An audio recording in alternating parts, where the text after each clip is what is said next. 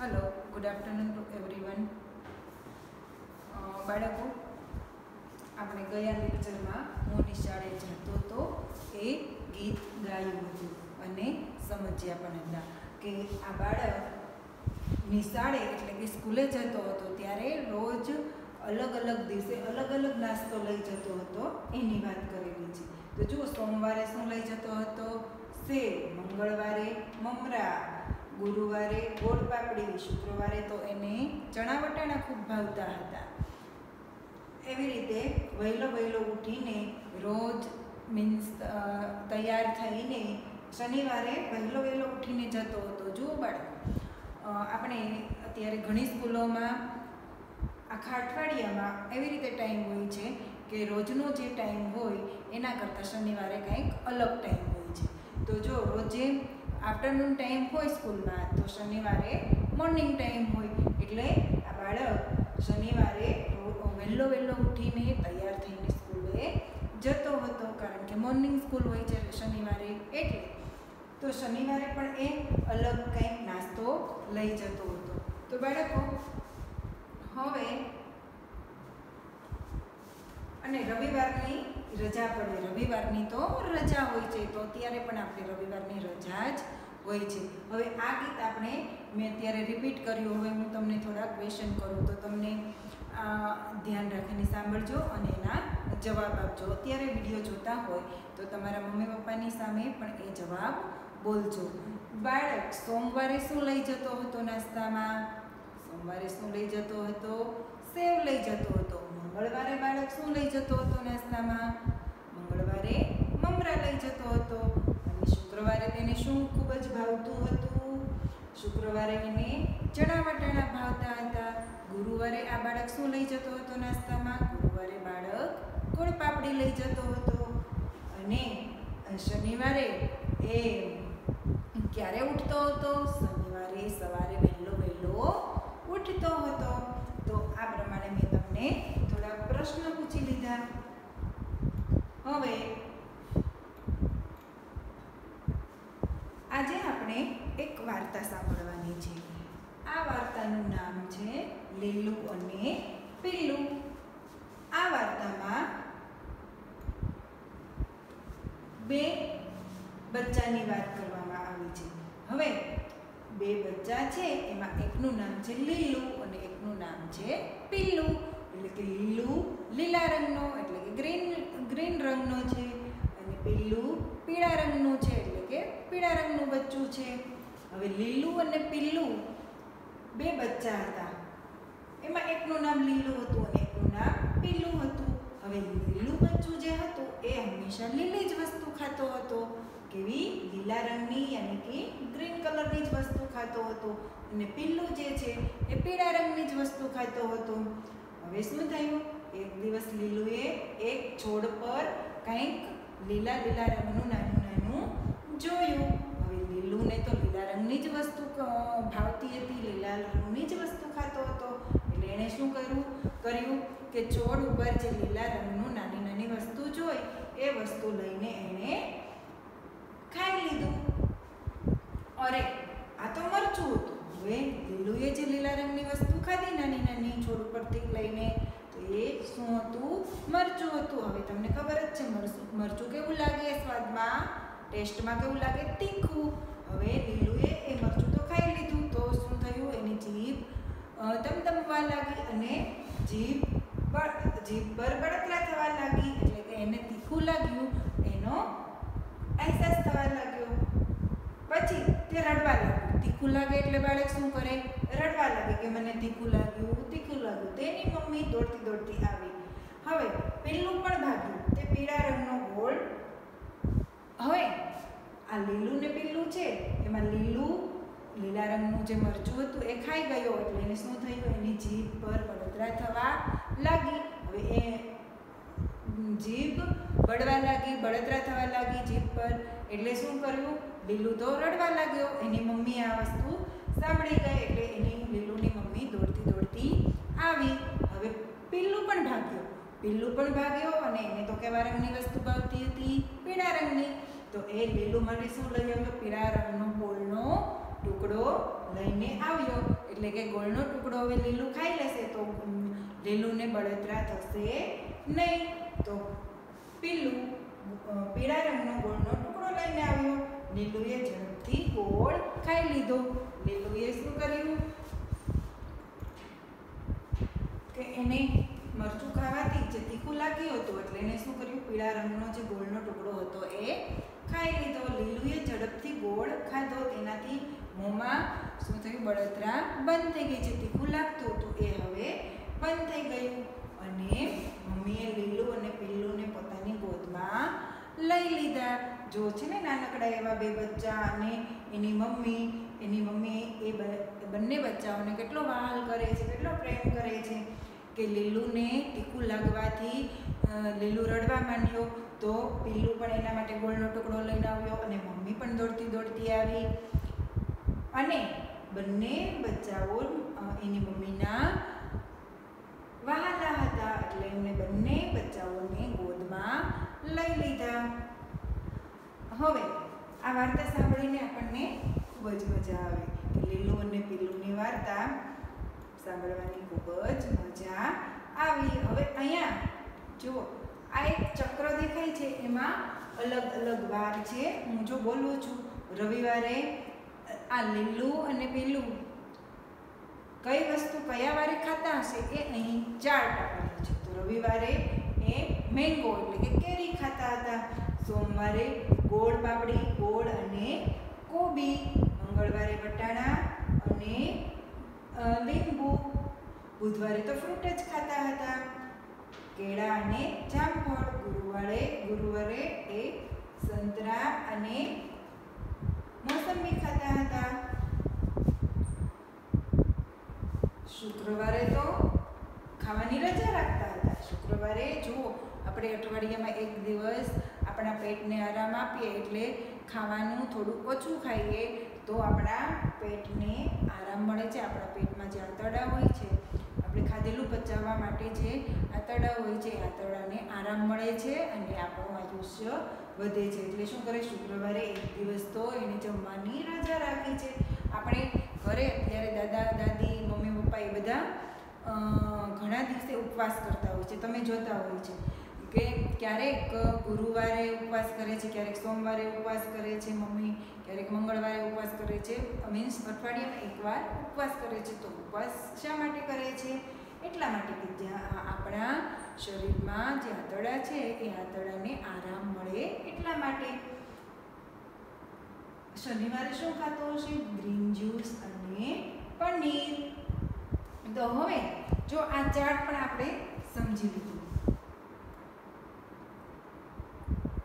તો હવે હું તમને કેટલાક પ્રશ્નો પૂછું તો હવે તમને આવડવા જોઈએ કે સોમવારે પીલું શું ખાતો હશે? સોમવારે પીલું શું ખાતો હશે? પીલું પીળા રંગની વસ્તુ ખાતો હોય એટલે સોમવારે ગોળ ખાશે અને લીલું શું ખાશે? કોબી. હવે બુધવારે લીલું શું ખાશે? બુધવારે લીલું જામફળ ખાશે અને પીલું પીળા રંગની વસ્તુ ખાશે એટલે કે કેળા. શનિવારે કોણ શું ખાશે?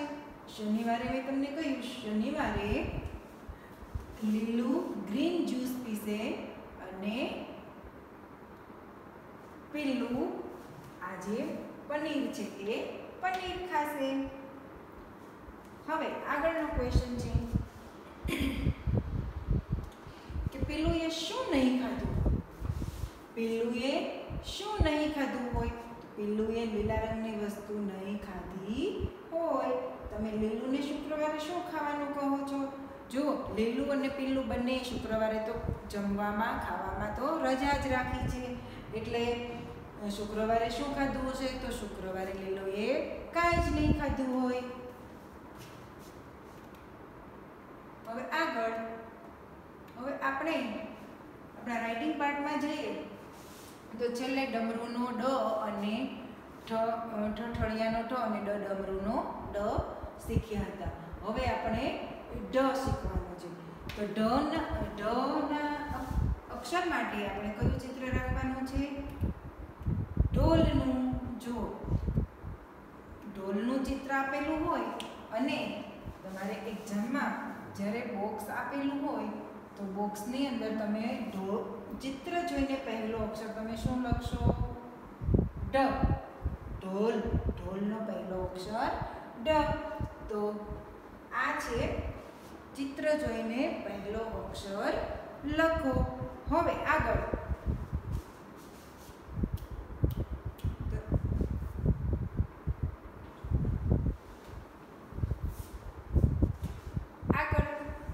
આપણે આ ચિત્ર જોયું પછી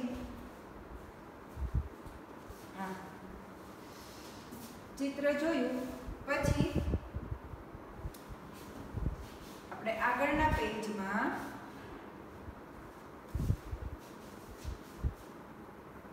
ઢની પ્રેક્ટિસ કરવાની છે. તો આ માટે આગળના પેજમાં પાંચ લાઈન ડ્રો કરીને તમારે આખા પેજમાં ઢ લખવાની પ્રેક્ટિસ કરવાની છે. આગળ હવે આપણે જોઈશું, ઢ પછી આવશે અણ ફેણનો અણ જો આ સાપની ફેણ દોરેલી છે સાપની ફેણ દોરેલી છે. તમને ખબર છે, સાપની ફેણ કેવી હોય? આવી આપણે ચિત્રમાં પણ આવું બોલે છે ઘણ ફેણનો હણ. તો સાપની ફેણ આપેલી હોય અને આવું બોક્સ આપેલું હોય કે ચિત્ર જોઈને પહેલો અક્ષર લખો. તો તમે ફેણનો હણ. શું લખશો? હણ હવે આ હણની પ્રેક્ટિસ કરી લીધા પછી આપણે અણની અણ માટે આખું પેજ લખવાનું છે. જો આ પેજમાં આપણે પાંચ લાઈન ડ્રો કરીને આખા પેજમાં હણ લખવાની પ્રેક્ટિસ કરીશું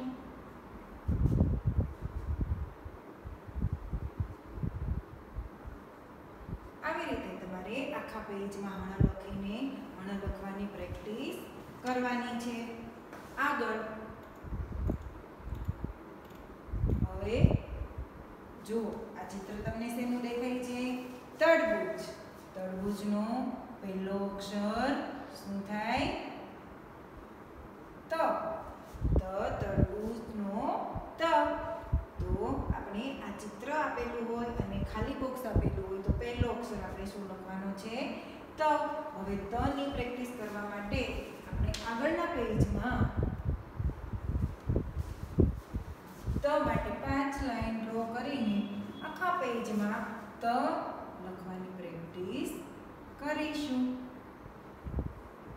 આવી રીતે તમારે આખા પેજમાં ત લખી લેવાનો છે આગળ થ જો અહીં મેં કંઈક દોરેલું છે તમને શું દેખાય છે આ એક ઝાડનું થડ દેખાય છે પર જો આવી રીતે હું આમ દોરી લઉં તો શું થાય આ એક ઝાડ બની જાય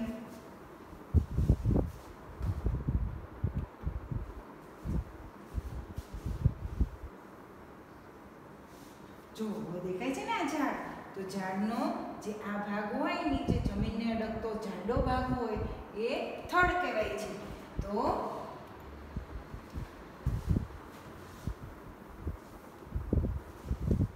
આ થડનો થ શીખવાનું છે. આવું થડનું ચિત્ર આપેલું હોય અને આવું ખાલી બોક્સ આપેલું હોય, તો તમારે પહેલો વર્ણ શું લખવાનું? થ, થડનો, થ. તો હવે થ, થડના થની પ્રેક્ટિસ કરવા માટે અહીં આખા પેજમાં થ માટે પાંચ લાઈન ડ્રો કરીને થડનો થ આવી રીતે બે લાઈનની વચ્ચે લાઈનની બાર અક્ષર જાય નહીં, એવી રીતે તમારે થડનો થ લખવાનો છે અને આખા પેજમાં લખી લેશો એટલે થ લખવાની પ્રેક્ટિસ થઈ જશે. હવે આગળ આપણે એક એક્સરસાઇઝ કરીશું. કે સમાન વર્ણ પર સર્કલ કરો. સમાન વર્ણ પર સર્કલ કરો. આગળ જે વર્ણ આપેલો છે, એ વર્ણ આપણે આ અહીં લાઈનમાં જે વર્ણ આપેલા છે, એમાંથી શોધીને આપણે સર્કલ કરવાનું છે. જો અહીં એક તમને શીખવાડી દઉં છું, ઠ છે તો અહીં ઠ છે. ના, અહીં, હા, અહીં નહીં ને તો અહીં ઠ ઉપર આપણે સર્કલ કરી લીધું. એવી રીતે ડ છે. તો આપણે ડ શોધવાનો છે. ઢ છે તો ઢ, વણ છે. હણ હવે એવી રીતે સમાન વર્ણ જોડો. હવે આપણે મેક ધ ફોલોવિંગ અથવા તો સમાન વર્ણ જોડવાના છે. જો અહીં બે લાઈન આપેલી છે. સામ સામે અલગ અલગ વર્ણ આપેલા છે. જે હમણાં જ આપણે શીખ્યા. એ ટ, ઠ ઢ ઢ, ભણ, ત અને થ. સામે પણ આડાવડા એ આ જ બધા વર્ણો આપેલા છે. ટ છે તો સેમ ટુ સેમ આપણે કર્ણ શોધીને મેચ કરવાનો છે. ડ છે તો ડ સાથે ઢ છે તો ઢ સાથે હણ છે તો હણ સાથે ત છે તો ત સાથે અને થ છે તો થ સાથે ઠ છે તો અહીં ઠ સાથે મેચ કરી લેવાના છે. આ બંને એક્સરસાઇઝ આ વિડીયોમાંથી જોઈને તમે તમારી નોટબુકમાં લખી લેજો. અને સ્ટડી મટીરિયલમાં પણ આ બધી એક્સરસાઇઝ હું મૂકી દઈશ. અને સ્ટડી મટીરિયલમાંથી પણ તમે આ એક્સરસાઇઝ જોઈ શકો છો તો હવે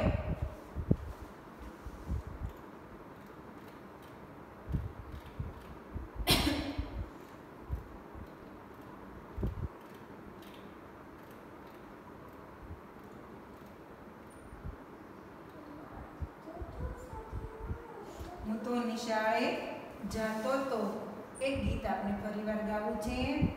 તો બધા હું જેમ ગૌરાવું તેવી રીતે તમે ગાજો. તો નિશાળે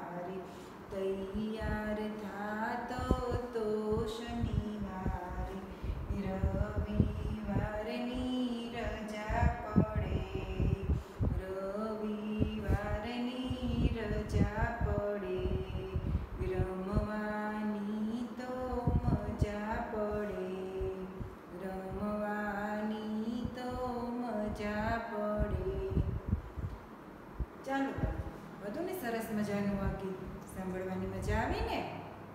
તો હવે આ ગીત પણ તમે જાતે જ ગાવાની ટ્રાય કરજો. તો આજે આપણે આજનો લેક્ચર અહીં સમાપ્ત કરીએ છીએ અને મેં જે જે વસ્તુ નોટબુકમાં લખાવી એ નોટબુકમાં તમે ચિત્ર તો જેવું થાય તેવું દોરજો. પણ પહેલો વર્ણ એટલે કે મેઇન જે અક્ષર છે, ટ, ઠ, ડ, ઢ હણ ત, થ, એ અક્ષરો પ્રોપર લખજો. અને આખા પેજમાં પણ બધા અક્ષર લખવાની ટ્રાય કરજો. Thank you